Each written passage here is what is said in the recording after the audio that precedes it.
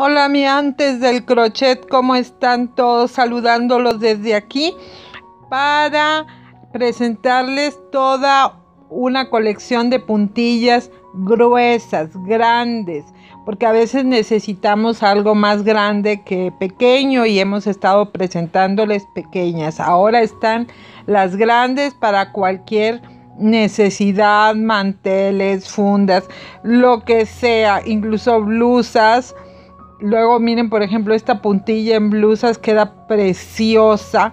En unos blusones le da un acabado muy especial. Así que si hay necesidad en sus proyectos, úsenlas porque se van a ver divinas. Hay puntillas para todos los gustos. Quédense hasta el final del video y verán cosas bien bonitas. Miren, por ejemplo, esta, qué bonita está. Es una flor que se va logrando está muy bonita para mantelería, para cualquier cosa que ustedes necesiten, la pueden utilizar o esta, miren, esta está preciosa, también se puede utilizar para, para una blusa, para las mantas de los niños, qué sé yo, hay tantas cosas, por favor, denle manita para arriba, suscríbanse, compartan en sus redes sociales. Pero miren esta que hermosa está. Yo sé que si ustedes bajan el, el esquema, lo van a poder lograr sin ningún problema porque están muy bonitas todas. Miren esta otra.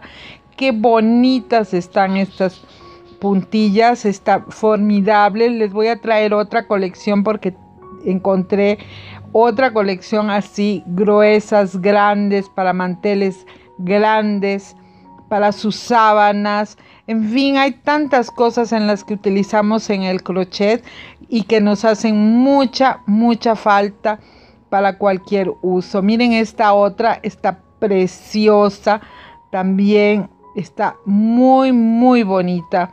Usen sus puntillas, están hermosas. Les dejamos toda una colección para que ustedes vean, las disfruten. Miren esta, qué bonita está. También está muy bonita para algo, para una blusa, un blusón, para una blusa corta incluso. Eh, esos terminados son básicos en cualquier trabajo. Muchísimas gracias.